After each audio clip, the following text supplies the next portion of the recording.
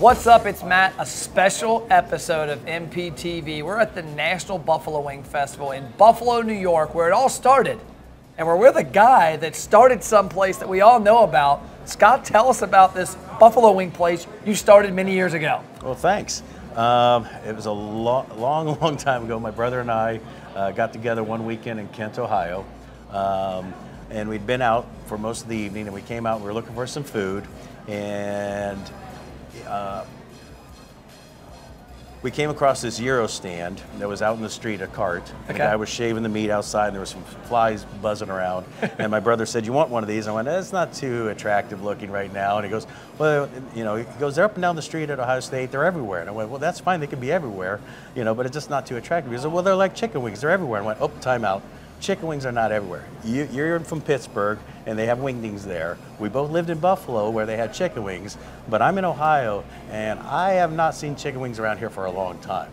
Oh, and he said, well, I'm sure there's some wings around here. I said, okay, I'll bet you five dollars. We always had these brotherly bets Yeah. between us, and he said, well, let's go find chicken wings, and we gave a time limit till 2 a.m.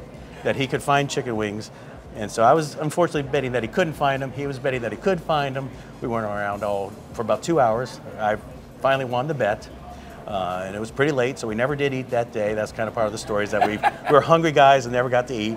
So we went back to the motel, went to bed. He had to get up early in the next morning at 6 a.m., so we only had like three hours of sleep. So we're having finally a meal at Waffle House, and he goes, "That's a great idea we had last night about opening a chicken wing restaurant." And I said, "Well, I'll tell you the truth. The way my grades are, we ought to pursue this." So- and that's kind of how the idea started. And then it really took us almost two years before we actually finally got a, a location open. Um, I went back to school um, my senior year. We are going to try to get it open in 1981, but it didn't happen in 1981. Um, the location we were looking at didn't want to allow us to have beer. We felt it was very important to have beer at the location. So we, we, we decided to scrap the whole idea. I kind of really wanted to finish my senior year. So during that time, I actually did some projects at school, re- researching opening a restaurant and doing it. Jim had done research prior to that that I used in Jim's my project. brother? Yeah, Jim Okay. is my brother. And so I graduated in May and said, we've got to get back on this idea because I really needed a job still, especially at this point. and we spent the summer of 1982 looking for an extra partner. And because we had four partners the year before, but one guy had dropped out. So we'd gone from four back to three. We needed to find another partner. We went around all sorts of friends, family, whoever asking. Nobody wanted to join us. Um, we were actually up here in Buffalo, New York. Uh, we had approached some bankers up here and stuff. They'd all turned us down. Again, some other uh, far family friends and stuff we approached up here all turned us down. We were returning back to Columbus, where I was staying with my brother at the time, and we were kind of depressed, thinking we would reach the 11th hour and it wasn't going to happen.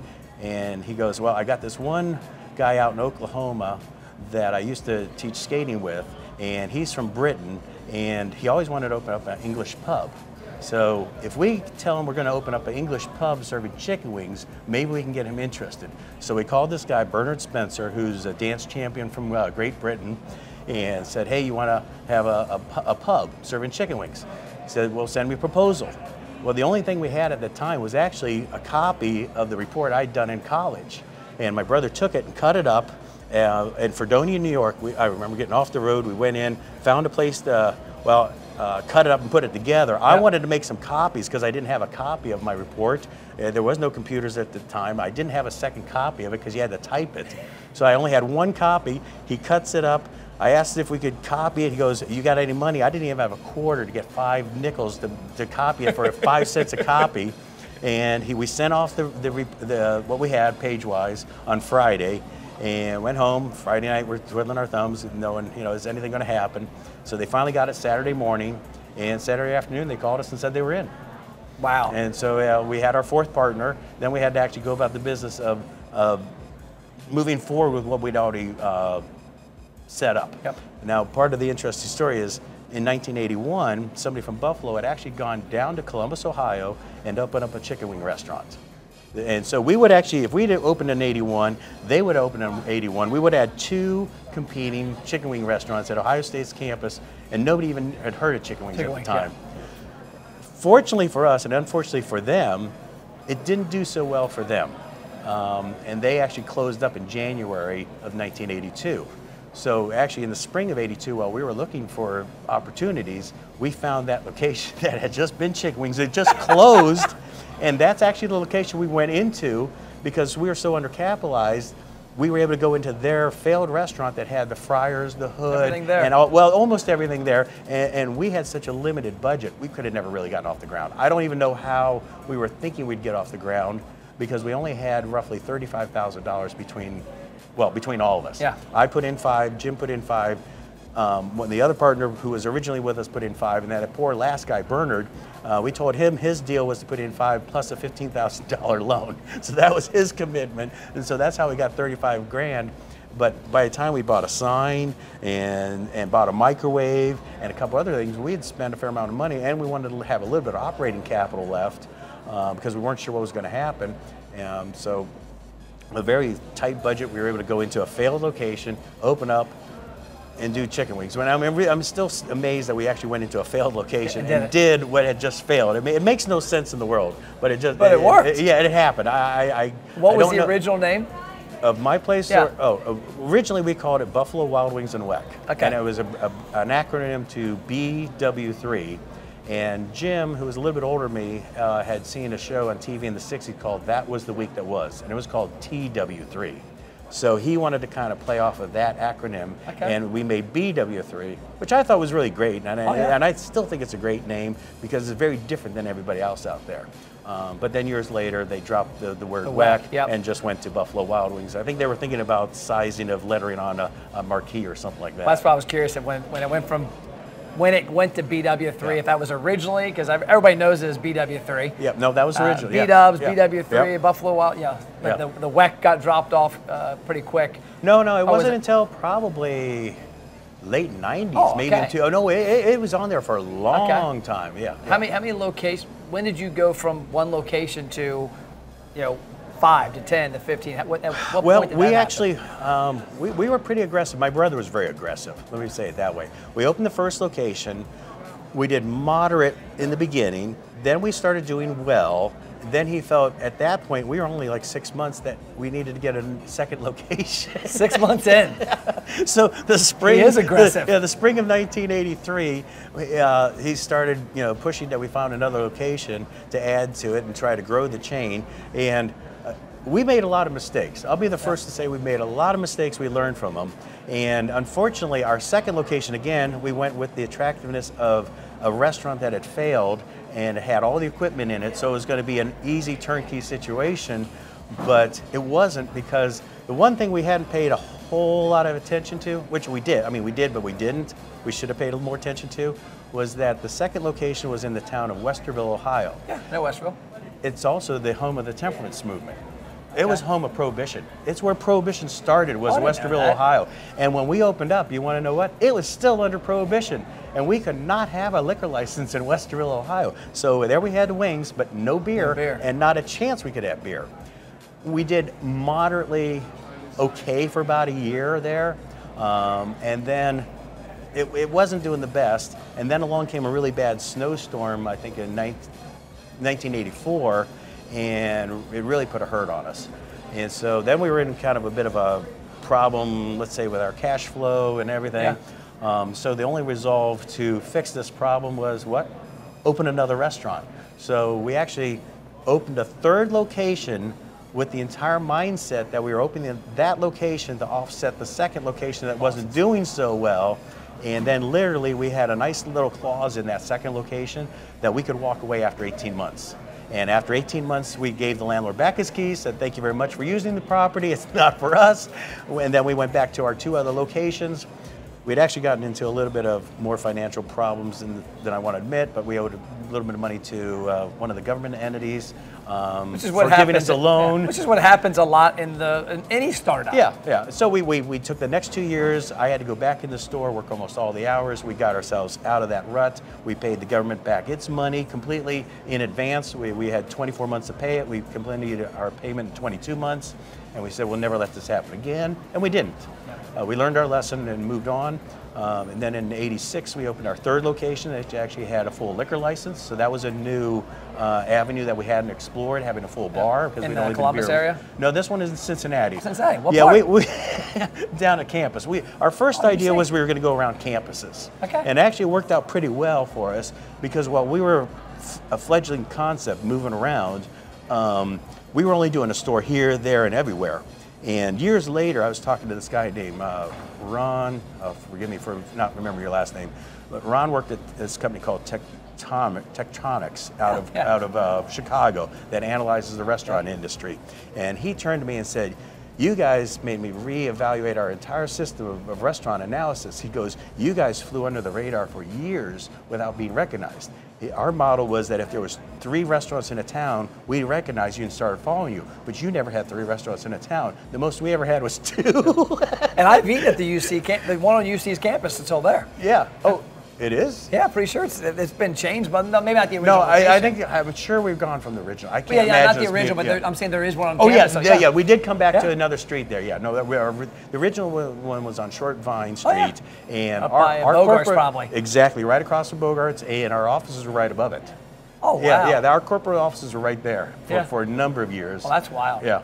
I did not know that. Yeah. Okay, break time. Restaurant owners, you're watching MPTV, so you're obviously interested in increasing your sales and profits. But what if I told you you could eliminate the hope and pray out of your marketing? You could spend money and actually see results. You know, most marketing starts with attention, like a billboard. The problem is that attention leads nowhere. That's why we created the ROI Engine restaurant program. We take attention and gain huge engagement, whether it's in store or online. We help you build a database with deep customer information that's comprised of email, cell phone, and birthday. And then we drive them into the restaurant with trackable results. Yes, results you can actually see. If you're interested and want to have a conversation, check out restaurantmarketingthatworks.com. Worst case scenario, you get a lot of great ideas. Now back to the show. And so, uh, when you when it went to masses, what what what got you? Obviously, those first couple years, we've all been. I've been it. I've got two or three companies. I've had those years where the first couple years you just do stuff that makes not a ton of sense, but it's to it's to fix the past error. Like Well, you yeah, said, yeah, this third yeah. location to pay the second. When you got to a point where you guys were stable, where did you get that? You saw that vision because there's a lot of restaurateurs Well- out there like, hey, I got a cool concept. Yeah, I'm glad you asked me. That's a perfect question because actually that was kind of like the next big step we made. We got ourselves about eight, ten restaurants, but we were only able to maybe open one restaurant a year. Yeah. And we went, we're not going to really be able to grow the chain as quick and as broad as we'd like to with just paying for it ourselves, one store at a time. It's going to be very slow growth. So we said we can take 100 grand and open up one more store this year, 1990, or we can take our 100 grand and we're going to go into franchising. And so it was in 1990 we made the decision to become a franchisor and franchise the concept. Wow. And so we went to a company called FranCorp out of, Yeah, out of Chicago. They worked with us to develop all the documents and everything, and then we started franchising. 1991 came by with, I think we might have sold one, but never got one off the ground. Then in 1992, um, one of the ones we had, maybe like the second one we sold, actually got off the ground. And then it was literally like exponential growth from there. Because in 92, we got two stores. I want to say we started with two stores. I think we got open that year. Well, let's just say one. But it went from one to two the next year, to four the next year, to eight the next year, to 16 the next year. I think that was like 96. And that's where all of a sudden it was getting pretty hairy because we'd gone from, I mean, think about it, in two years, we had probably almost doubled the chain. Oh, yeah. You know, you, were, you were doubling and doubling. yeah, yeah. And so all of a sudden, we, we kind of had to slow down a little bit and start retooling a little bit because of our growth and stuff. And that's where we started bringing in outside people because we felt as we grow this chain, we need more people from the industry. And we brought in some other people from outside the industry. And I actually had to relinquish my position as chief uh, operations officer. Jim relinquished his pres- position as president, and we handed those over to outside people to make you know a long-term uh, plan for the company Yeah. that, that it would always be there, and if we left, then that, that stability would It would still be there. Yeah. Well, that's wild because I think back, you know, Anchor Bar and Grill, who's here, Yep. uh, was influenced the first wing place. I'm from Northern Kentucky, Cincinnati area, and I remember you know Barleycorns in the 80s. Oh, yeah. Barleycorns Yeah. was the only place in Northern Kentucky that had wings. Like you would go in somewhere and they looked like you. Yeah, I want buffalo wings. Yep. What? What's wrong with you? What is a buffalo wing? And then. Uh, Buffalo Wings and Rings opened up in Yep. late 90s, Yep. early Yep. 2000s, I and then that. eventually closed and then opened back up. Uh, and you guys were there. I remember seeing Yep. the brand. it's cool to see it goes for because a lot of people have a hard time seeing that vision that you can go from one to two to two to four and then hundreds. Oh yeah, yeah. I mean, it, it, it, it's a huge step.